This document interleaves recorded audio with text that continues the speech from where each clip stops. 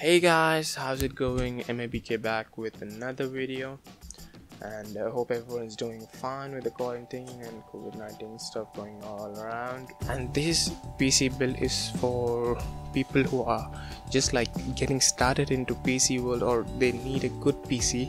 They have they're transferring themselves from a crappy PC, old PC, okay, and they're coming from a, to a new PC. This is for them. Or if you just want to buy a PC for the first time, this would be for you. So let's build something.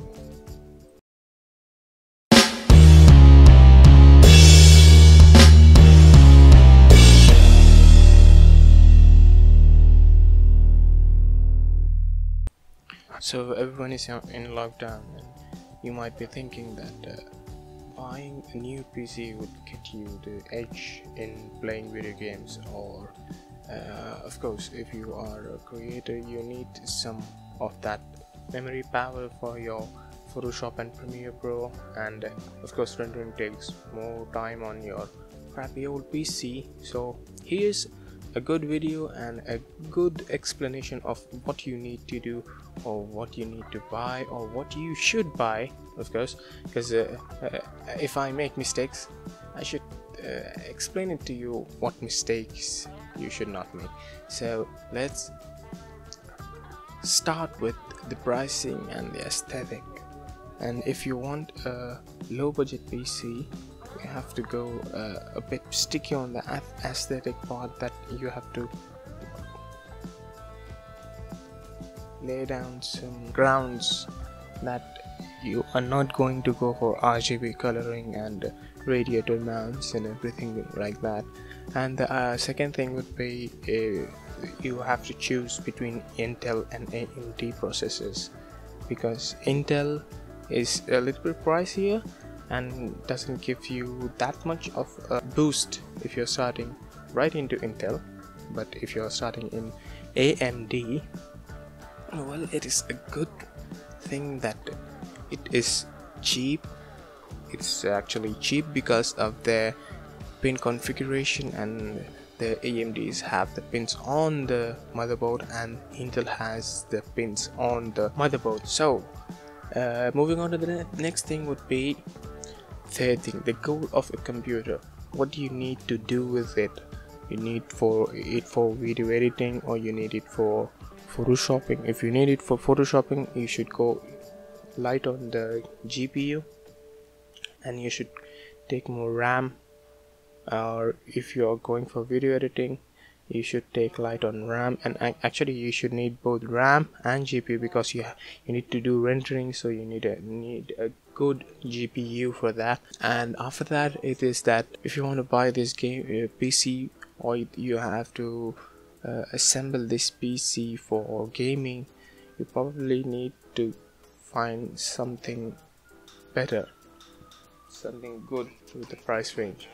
And uh, if in my case if uh, if I suggest that uh, you should assemble because assembling is uh, much more easier for you as you will know anything if anything goes wrong or anything cracks you know where the cracks come from. But if you're buying an assembled PC if you're buying a PC a made up PC okay like from companies like Asus and uh, ASRock Origin Origin Origin no not Origin but still the point is if you're buying P build a PC then you have the chances of getting overpriced PCs for what you can get in a short amount but they have the upper hand because they buy things in bulk but still though you have the upper hand if you're assembling a PC by yourself. And the last thing would be that uh, it's better to, for you to search for local parts because local parts are much easier to find and uh, if you are in a good neighborhood you will find parts within your price range and usable best usable parts let's start with motherboard. We have uh, which i bought was uh, very cheap. Well it's very cheap with good looking aesthetics. It's not like uh, uh old coming out from 90s 1990s motherboard but still it is a good motherboard. If you look at over here you have ASRock AMD B450 Pro 4 so B450 is the chipset of the motherboard so it uh, has AMD AM4 sockets and supports DDR4 okay? The, the new version DDR4 RAMs. And it has it has four slots. It's not that DDR4 that's why it's had four slots. Four slots no because it is the DDR4 technology that's the fourth generation uh, and it, it supports 3200 megahertz and uh, after that you have two PCI 3 uh, into 3 third generation 2 PCIe of third generation into 16 x16 that is these two over here okay? And uh, you have what 4 PCI 2 second generation uh, into one. That is this one two three four and of course you have 6 SATA 3 and uh, one Ultra M2 M.2 M.2 uh, so if you're new to M.2 you should probably go and find something more about M.2 drives because they are such a good drive. They are such reliable sources of uh, storage if you are new. Otherwise you if you know M.2 then you have uh, two M.2 slots okay? But uh, only one works if you're using both of the PCIe slots. Now that you have to bear that in mind. And uh, for uh, ethernet cables you have realtek gigabit lan. Mm, so after that also you have two variants of this mother same motherboard. So you have ASRock B450 404 which is uh, what I bought which uh, is a bigger version. And you even have B450M Pro 4 so both of them would be good because it's on you. You need a ATX motherboard or you need a micro ATX motherboard. It's all on you. And so I brought the ATX motherboard so because because I needed more slots of PCIe's PCIe okay? So after that the graphics card that we have is MSI RX 570 8 gigabytes and uh, even though 8 gigabytes is uh, outrageous that you have 8 gigabytes of no but it's RX 570 but it is an old processing unit. So it has its drawbacks and it has its own things. Okay but here what I was just trying to do that is I was uh, trying to find a, a GPU that with more power less price of course otherwise I could have gone to 1080 Ti or 10 Nvidia's um, graphics cards but I did got stuck into RX 570 because of the price range. And uh, here's the thing that if you're gonna assemble your own PC you have chances of uh, what uh, renovating it. Renovating it right it's renovating that yeah you can renew it every time you want every time you collect a paycheck you can renew it just by yourself because you don't need anyone. And that is the best part about it. And for the CPU the processor we have AMD Ryzen 5 to 2600 with uh, 6 cores and 12 threads of 3.5 gigahertz. Out of the box with the thermal paste. And I recommend not to overclock it without a good water cooling system and after that is the PC case and the power supply which I got a little bit greedy about to save my money and I bought it from the local store but, but still that is good and that doesn't cost me much. So the motherboard uh, actually uh, the, the pricing is and for the pricing the pricing is in uh, SAR uh, Saudi Riyals because uh, that's where I stay so it's uh, kind of Riyals but still though I'll give you the final price of the USDs US dollars but still the the motherboard came for 300 GPUs from for 670 that's the, the least amount of price you're gonna pay for a GPU of 8 gigs I mean, like, uh, seems a joke but still though.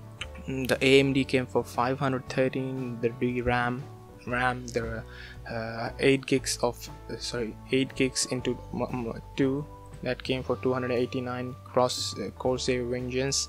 That's a good uh, RAMs DDR4 to 3000 megahertz? And the shipping and import fees was like uh, 217 200 and the total was uh, 1946 but I was charged 1952 because of some exchange rates and that things. But uh, everything set aside I got a PC of complete uh, this is some of the PC parts for uh, thousand and nine hundred Riyals okay? So after that I, got a PC case which I bought uh, from the local stores.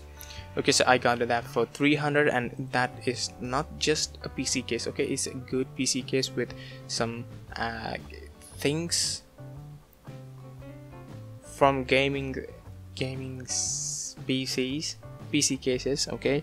So I've got uh, fan controls. You have uh, two settings low high and off of course off. So you have uh, one outtake fan actually two outtake fans and three three intake fans with filters of course. It has filters and a fourth on the side panel a big fan so it's a big, pretty big fan to keep your system cool and I actually don't uh, need maybe I actually currently don't need any uh, water cooling systems radiators and all of that but still though it's running pretty good without any of that.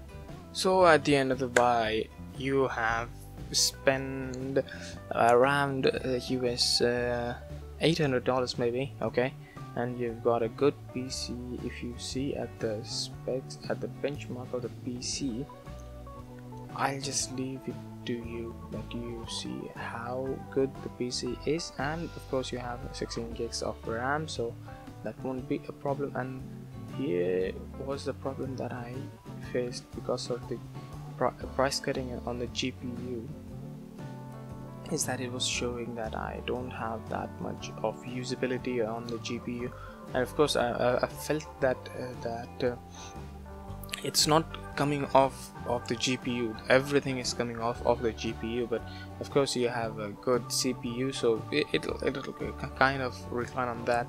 But it's not good it's not a good thing but still though it runs very good uh, except for my old PC which was like uh, not even 4 gigs. It was it had 2 2 gigs of uh, RAM and uh, maybe 512 of uh, GPU that was also integrated integrated GPUs from Intel. So that was a bad thing. And this is, is a start.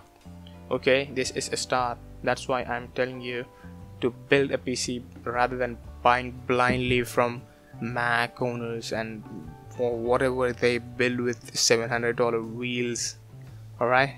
You're not gonna go and buy blindly. Just look for the things you need. Otherwise just leave it. Because now if you don't want a GPU you just want CPU you can buy integrated CPU with GPU so it, it will work fine okay?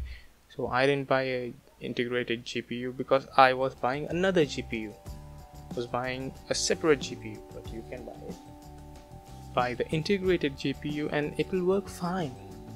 Like if you don't need it you don't buy it. Simple as that. So just uh, you can look at the specs for this. So that's it for today and that is a cut for me and I'll see you next time on my channel. Please subscribe to my channel for newest content of Premiere Pro Photoshop and editing and graphic designing if you want uh, to learn or you are starting into it or you need some and another help with PC building experiences you can so until next time keep subscribed to my channel and click that notification bell until it gets uh, silver so that you know when my new video is coming and when it will come and you will be the first one to watch it